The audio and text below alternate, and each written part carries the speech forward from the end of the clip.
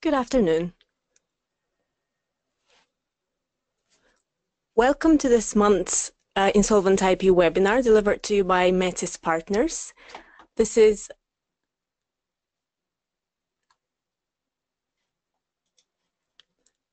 This is our special edition dedicated to intellectual property assets in insolvency, specifically tailored to uh, scenarios um, which are typical for the publishing sector. The speaker today for you is me. My name is Eileen. For those of you who don't know me, I'm part of the corporate recovery team and I primarily focus on IP valuation work, but uh, I have significant experience in running IP asset sales exercises as well. And I would like to share my uh, recent experience dealing with companies uh, in the publishing sector, um, which um, uh, has given me a good insight into what's typical, what's interesting, and what to look out for uh, in these scenarios. Uh, I, I, would just like to start off with recapping on who we are and what we do in general uh, for those of you who don't know Metis or haven't come across our work before. We're an intellectual property valuation firm with a proven track record in the assessment, exploitation, monetization, valuation, and sale of IP assets. We're headquartered in Glasgow, however, we do work with clients across the UK uh, and also with North American, European, and Asian experience. We have uh, heavily focused on our European growth uh, recently, and in terms of the team, uh, we are a growing multidisciplinary team. Uh, our members have a background in uh, accounting, law, finance, uh, humanities, which provides a good mix of experience and expertise uh, for the different uh, cases that we deal with. what's important to highlight here is that the corporate recovery team provides commercial practical advice on how to deal with IP in insolvency or distress scenarios. However, we're not lawyers and we often work alongside lawyers to assist insolvency practitioners with the cases that they have. Uh, we take a commercial approach and try to provide commercial solutions to IP issues in insolvency. Uh, we're also hiring to try and uh, expand our presence and um, our scope uh, and um, our website has more information on that for those of you who are curious to see uh, what's happening uh, in the Metis world these days. In terms of today's webinar, uh, the topics that we will be discussing uh, are quite standard, uh, quite uh, similar to the different niche sectors that we're covering in, in this series for, for the autumn series of the Metis webinars.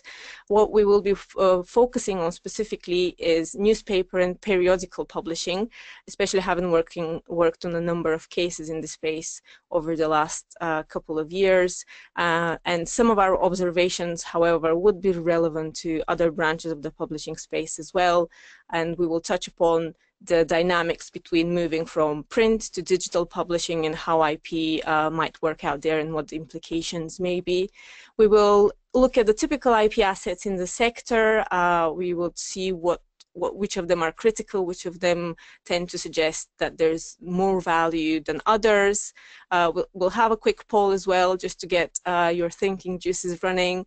Uh, and we'll go through the sector-specific IP considerations and value preservation uh, suggestions to uh, try and understand the action points that could be uh, relevant to make sure that value is preserved and maximized in insolvency.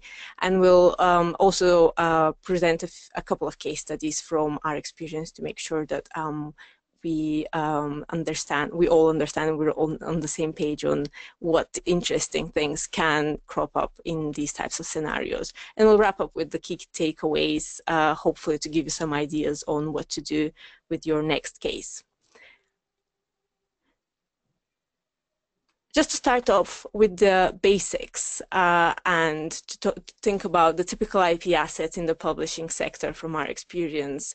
Um, first off, brands and trademarks. Um, this is always the type of thing that usually is more most prominent in these types of businesses. The the brand or the name of the magazine uh, tends to come before even the content. What's what's on the cover tends to grab the attention and tends to be remembered the most Obviously, copyright and quite a few different implications, particularly around ownership. We'll touch upon those as well. Things like design work and more and more software and data. Uh, even the publishing world uh, can't escape the, the new developments in uh, the business world in general and keeps up by um, making sure that uh, the technology and the data and marketing approaches they take are relevant and interesting. Before I start and go into the different types of IP asset classes to think about the different implications and specifics, I would like to uh, suggest that we look at the poll that we've prepared for you today.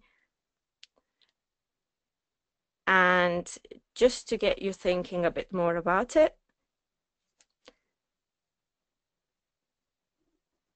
What uh, we were looking for today is uh, some thoughts on which of the three magazine sectors uh, account for the highest revenue within the print retail magazine market. And we've got news and current affairs, TV listings, leisure interests. Um, just to think about it, we will be talking about market context and the business context further down the line in this webinar. Um, so it would be interesting to see what you think are um, the most revenue generating uh, segments of the sector. And I will give you another um, 10, 15 seconds just to, to wrap up at a minute and we'll see um, where we are in, in terms of your thoughts on which sector is accounts for the highest revenues. And just wrapping up, another five seconds. And that's it. Um, interesting results there. Uh, I think about 36% of you have gone for news and current affairs, 0% uh, for TV listings, and 64% for leisure interests. Uh, you will be surprised to know, uh, according to a Statista um, uh, research, uh, piece, uh, TV listings is actually the, the, the largest segment at 20.9%, uh, whilst news and current affairs accounts for 1.9% of revenues, and leisure interest publications account for 4.4% of revenues.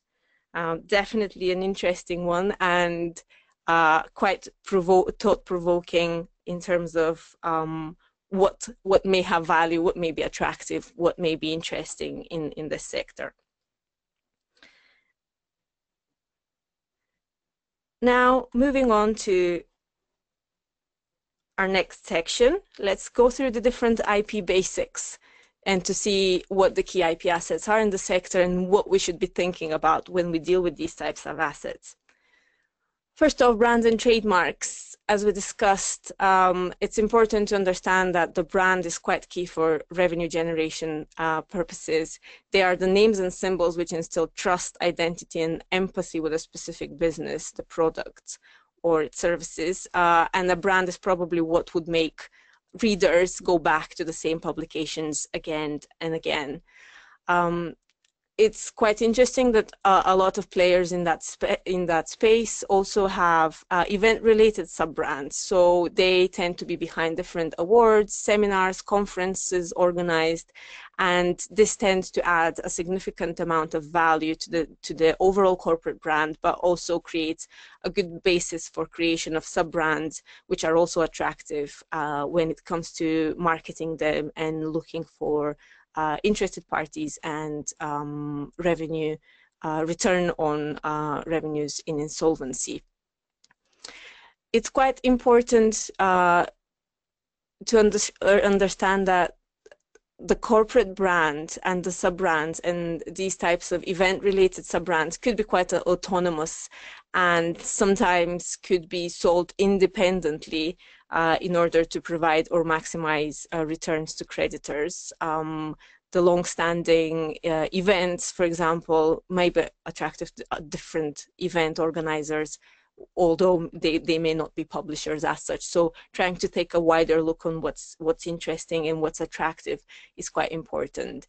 and obviously trademark registration, uh, registered trademarks um, goes back to our some of our IP basics editions before, but registered trademarks with the R symbol next to them, unregistered trademarks with the TM uh, symbol next to them um, could add significant value to, to the brand. And it's quite important to have these um, recognized and identified early on. Or if uh, these are lacking, it's, it's an issue that should be flagged up early on as well in case any spurious registrations crop up in the register uh, being filed by third parties uh, unrelated to that business specifically. Next off, copyright. And that's probably the, the biggest point and the biggest topic that we always have to look into when we're dealing with publishing.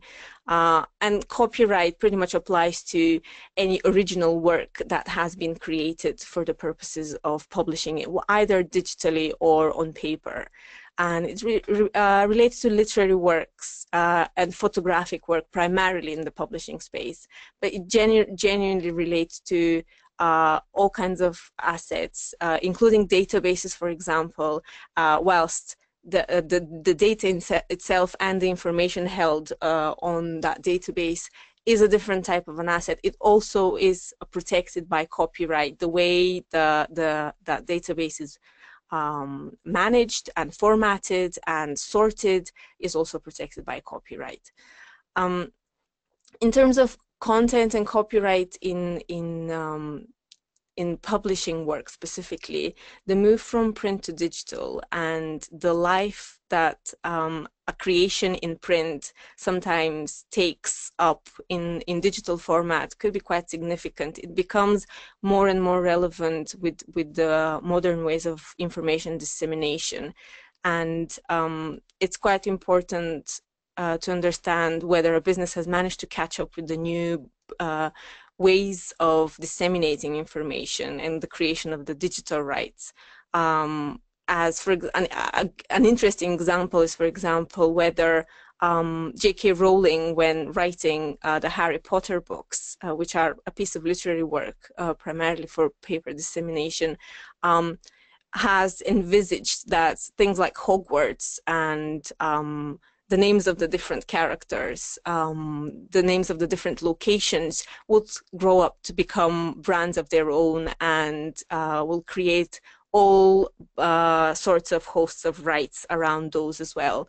Uh, so it's more, more the branching out of assets uh, rights and the future legal ownership of those, whether that's been envisaged by a company when creating uh, or when creating or publishing an article in a publication, uh, that would create future sub-brands or interesting um, uh, characters or brands and product uh, uh implications for future. That's uh, important to look into, uh, especially from the point of view of the generation of future rights and future revenues in terms of the copyright ownership, uh, an issue that um, is quite prominent and we we get involved in trying to clarify further down the line when we get cases uh, is obviously ownership.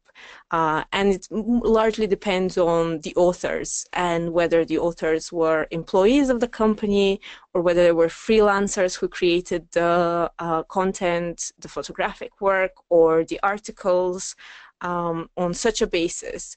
And the key point at that stage becomes checking the agreements for these, the, any licenses that have been created, um, any ownership documentation of some sort, uh, as it becomes quite uh, difficult uh, once a company uh, goes in insolvency uh, to try and understand who owns the rights to these types of things if they haven't been understood early on but it is the case that sometimes companies that appear to have a huge amount of IP uh, end up not having that much uh, in terms of ownership of the, the content that has been published through different magazines or various kinds of publications and special publications as well. Uh, so definitely one of the first questions to ask is what um, I would kind of flag it out as. Our next uh, IP asset class, design work. Uh, and whilst when we talk about copyright, we talk about the content itself, with design work, we think we, we should be thinking about the look and feel of the publication, uh, the layout, uh, any specific uh, typical layout uh, solutions that have been created and the publication is known for. Things like templated content or sometimes uh, some, some businesses that publish magazines um, tend to do bespoke layouts for each issue um, and it's quite interesting. Ownership status, again, is dependent on the creator. If the designer team is internal and their contracts do have provisions around the work that they've done, uh, being owned by the company, chances are the design work would be um, something that could be sold as an asset of the company. Uh, whilst if that type of uh, service has been provided externally, or if uh, there's been software that has been licensed in uh, that has assisted in that, um, it becomes more of a gray area that should be considered in the course of the insolvency process as well our next IP asset class, software, uh, it is becoming increasingly relevant in the move from print to digital. Um, most commonly, the way we see it in the publishing sector is around web and app-based electronic versions of the publications, some more sophisticated than others. Uh, however, uh, always in some shape or form, they seem to exist in the most relevant businesses, uh, that the most successful publishing businesses that we've seen. Actually, that seems to be the almost the main criteria as to whether um, a business has got significant potential or not, being able to trans transition to that digital uh, content and format uh, solution. Another way software could be encountered in the publishing sector is uh, for internal usage purposes, as I mentioned, for design and the production process. And again, most of the time, this means licensed in software. However, with some more uh, sophisticated businesses and ones that um, have uh, more elaborate uh, solutions to their day-to-day dealings, there might be some bespoke software that would be worth uh, looking into and might be attractive to uh, someone else in that space as well. And last but not least, data. Um, it is actually becoming more and more relevant and it's um, it could be data relating to advertisers partners subs subscribers of course especially for uh, publications that have strong uh, web and online uh, existence. Um, and the ownership of data and having quite a bit of data to sell on to a purchaser uh, of IP and insolvency is what defines the continuity of the business and the future advertising opportunities. So um, it could be quite quite attractive. And obviously, the the type of data and usually the audience that you would have uh, on these um, databases is likely to be quite open to different um, advertising opportunities just because the publishing sector does usually lean into that type of um,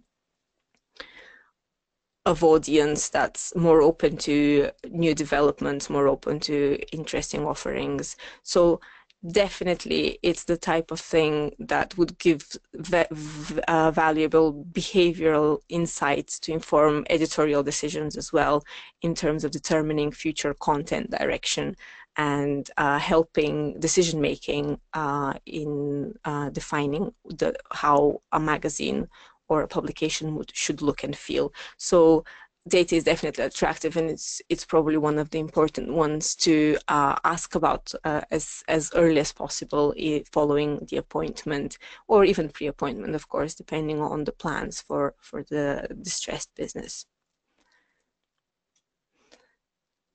and now I'll take you through to um, our second section, which is more around the sector-specific IP considerations, whilst um, I've tried to flag up uh, issues and opportunities here and there as we were going through the different IP asset classes, um, I think there are two uh, genuine ones that uh, you've probably heard about more often than others in over the last few slides.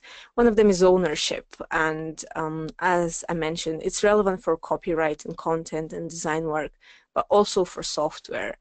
And um, it always comes with the idea of theoretically uh, the company may own it or an external party may own it, but the main thing and the other side of the coin uh, is control and being able to uh, access it in practice, being able to uh, understand and uh, see how to get into the software code if that exists or how to get access to the previous issues and editions of, of that publication or how to be able to uh, manipulate and edit the different templates and the design work that has been created for future issues.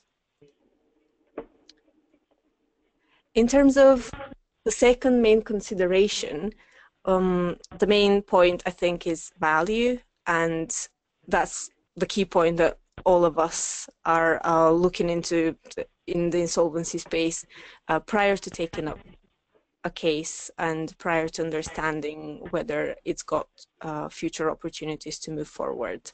Um, users are changing their attention quickly, so understanding their positioning uh, and understanding the positioning of the publication and the offering uh, is quite key early on and um, the readership uh, add their user and their usage patterns as well.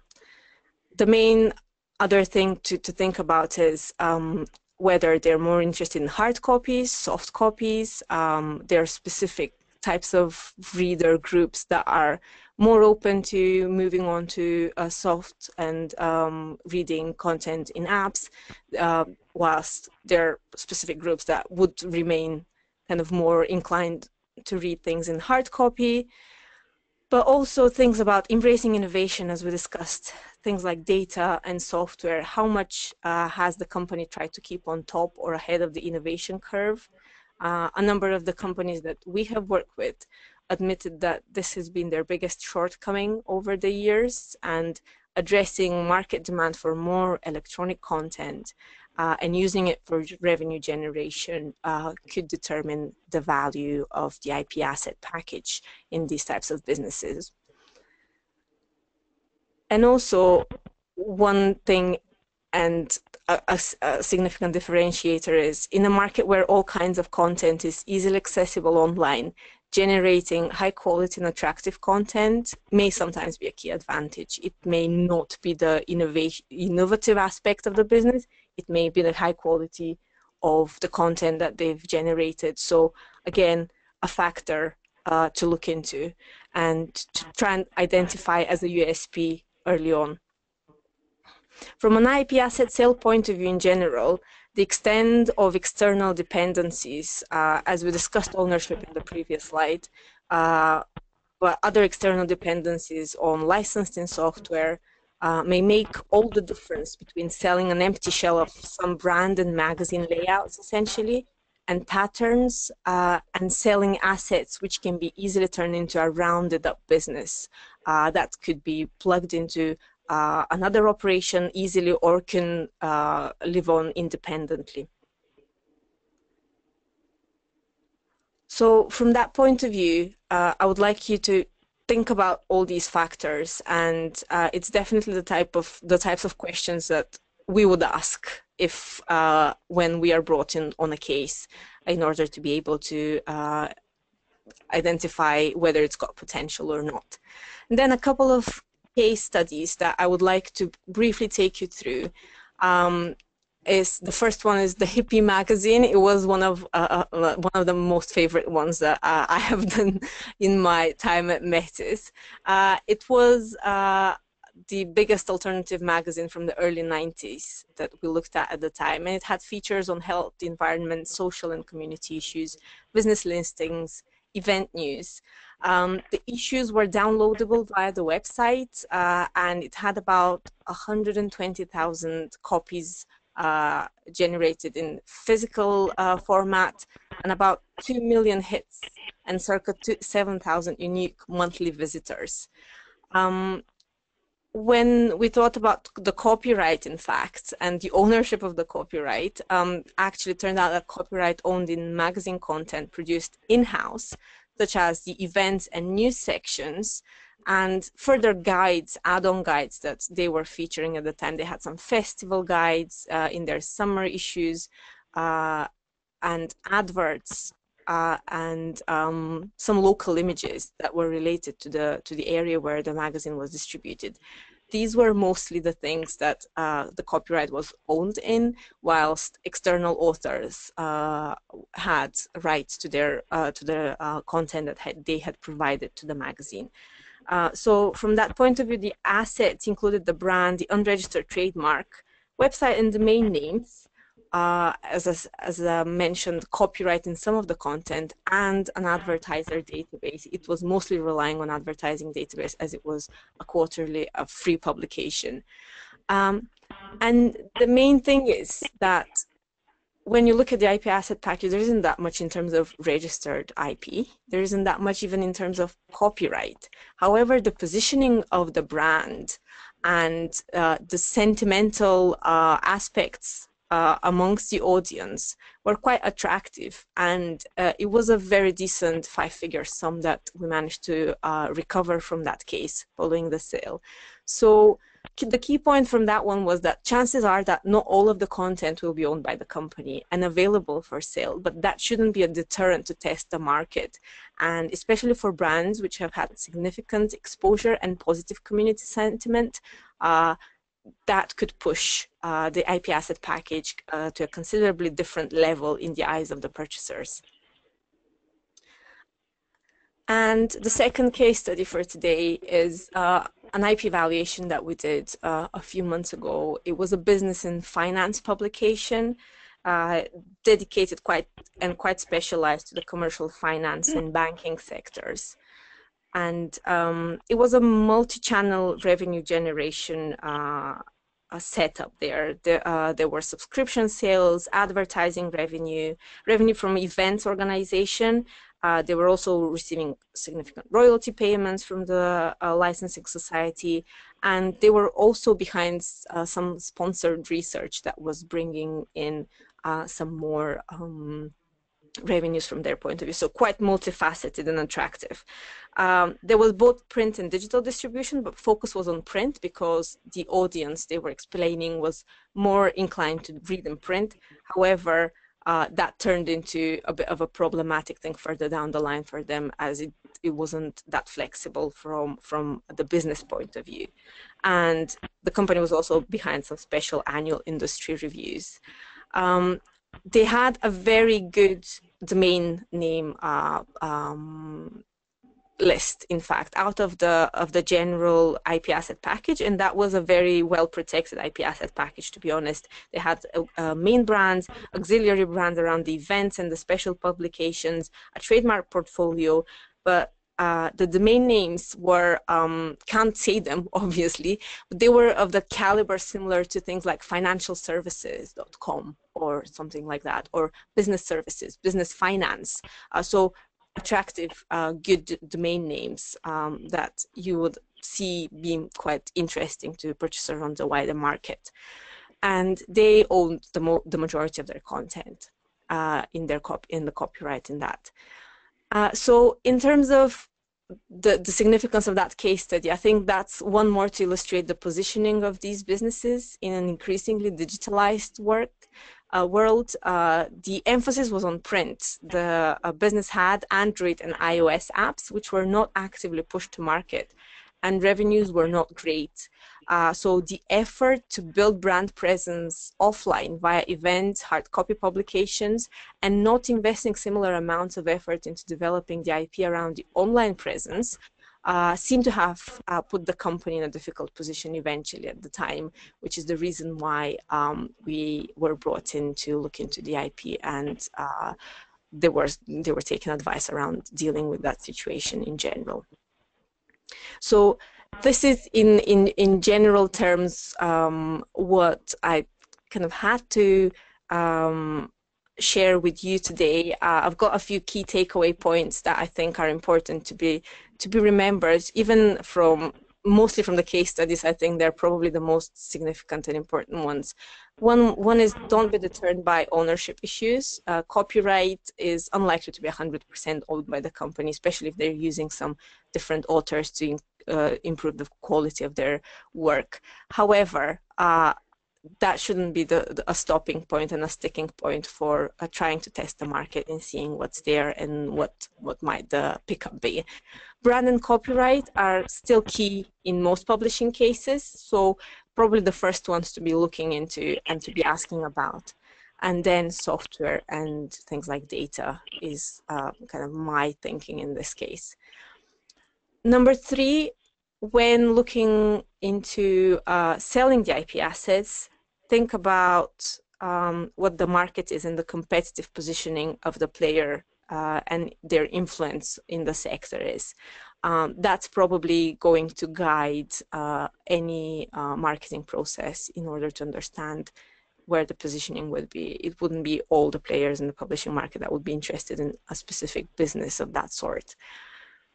Number four, consider the potential of the soft IP assets. So it's not always the registered ones that are most attractive. Sometimes they're the ones that are more non-obvious, that are more interesting, and the ones that competitors would like to get their hands on. Uh, that's um, that's probably kind of the way to think about it. And last but not least, identify and highlight the main USP both now and in the next three years. Think about the future value. Uh, and the USP could be the multiple generation revenue generation channels. It could be the strong brand. It could be the great online presence, or it could be the high quality content. Uh, but there's usually something there that makes it interesting and attractive.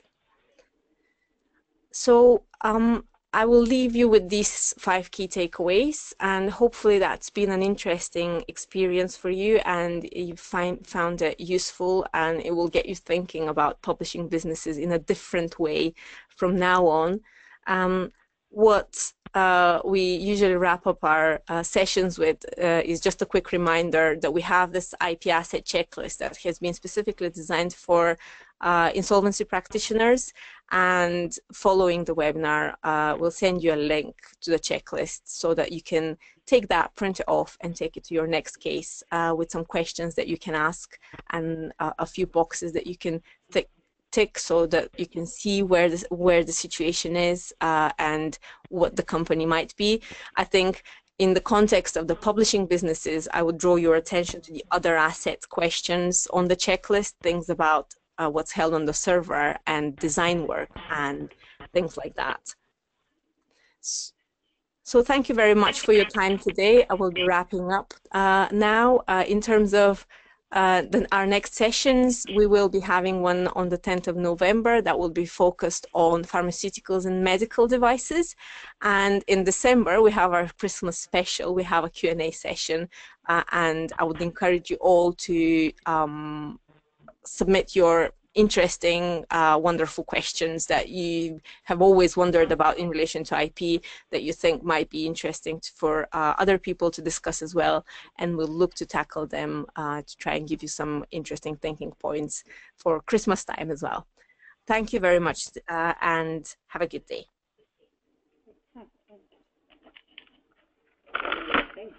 Wow.